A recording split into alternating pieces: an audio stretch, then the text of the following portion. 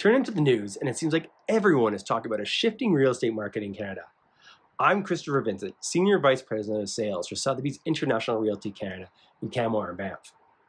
We've seen a bit of a shift in the past few weeks. However, some of this could be the seasonality of the market.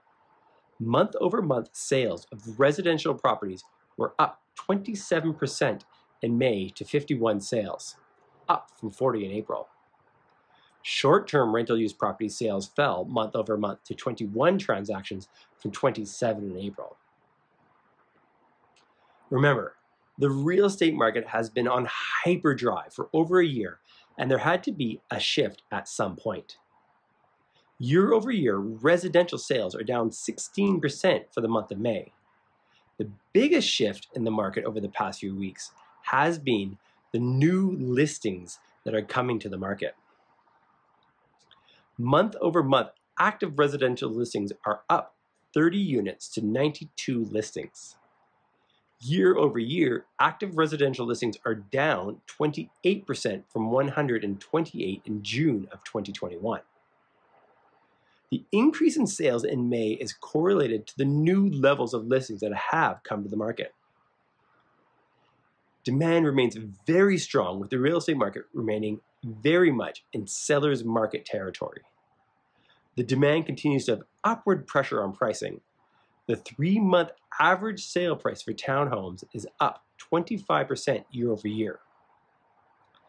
Detached and semi detached homes, three month median sale price is up 24% year over year. Apartment condominiums' three month average sale prices have actually declined year over year by 3%. Some of this decline can be attributed to the new iPlace one bedroom suites that have all recently sold and brought down the average sale price. The higher levels of active inventory are still below our historical norms for this time of year. However, these higher levels of listings are giving buyers more choice, the opportunity to potentially negotiate, and have some conditions on their purchase. There have been several price adjustments over the past few weeks as sellers are realizing they need to be strategic in their pricing, and there is more than likely competition for their property.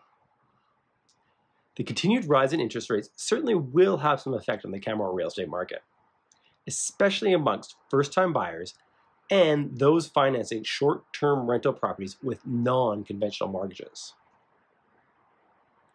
The current global geopolitical landscape and stock market volatility will also have some impact on the market as some buyers may take a wait and see approach.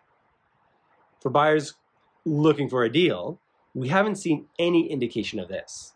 The last significant dip was spring 2020, and that only lasted two months. Anecdotally, the Canmore real estate market continues to draw buyers from across Canada and around the globe. We continue to see strong interest from Calgary, Edmonton, the GTA, and the lower mainland of BC, as well as the US. Heading into the summer months, we expect to see continued rise in active listings and sales to remain steady the market may slowly shift to a more balanced market as we move into fall if the new listings are not all absorbed in a timely manner. For full graphs, be sure to visit our blog at canmorebanffrealestate.com. Subscribe here to get your monthly market updates, and thanks for watching. Música